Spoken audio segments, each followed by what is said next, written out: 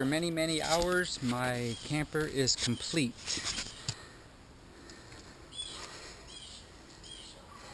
Team Bigfoot logo.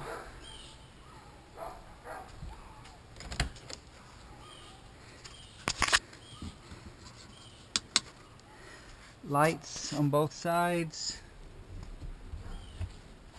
Storage. Storage here. Stereo.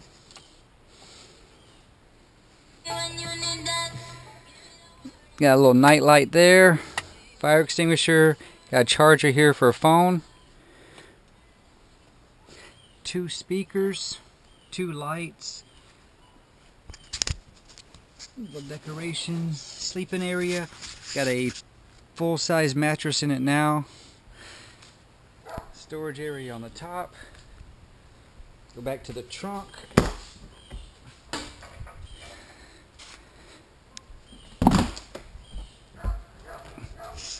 And I got all my camping stuff in the back.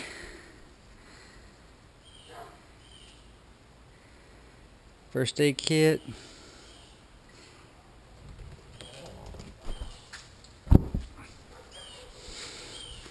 And another door on this side.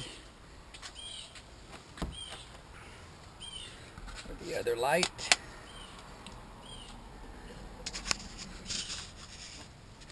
And that's it. Teardrop camper number two, built and done.